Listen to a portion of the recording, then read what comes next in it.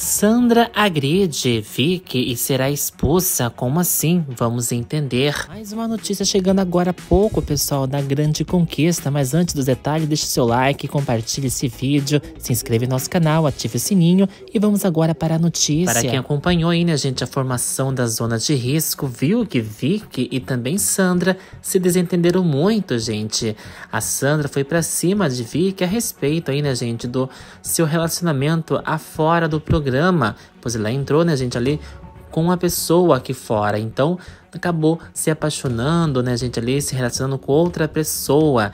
E Sandra não gostou muito disso, né, a gente acabou falando isso no ao vivo, então foi o ápice ali, né, gente, as duas discutiram feio, pessoal. Para quem está acompanhando o reality, viu que Sandra chegou a cuspir na hora que falou, até mesmo deu um tapa de leve ali, né, gente, segundo os internautas, pessoal.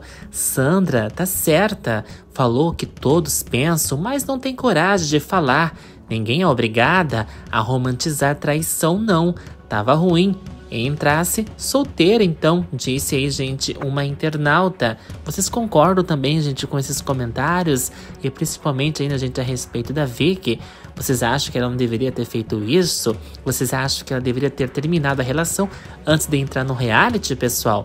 Deixa aqui nos comentários também se vocês acham que isso foi uma traição como mesmo a Sandra disse, comente aqui abaixo, queremos saber a opinião de vocês. Vários comentários surgiram, né, gente, sobre isto.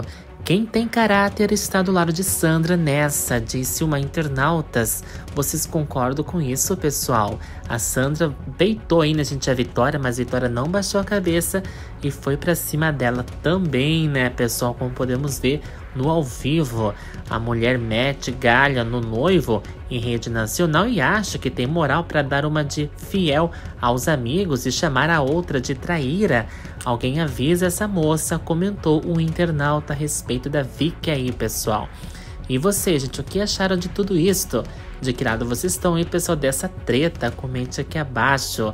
Cala a boca, sua traidora, Vitória. Tu é traidora, tu não pensou na família do cara aqui fora. Se você fez isso com ele, imagine com quem você não faz. Aí comentou outro internauta. E eu quero saber a opinião de vocês, se vocês concordam com isso também. Pessoal, comente aqui abaixo, queremos saber a opinião de vocês.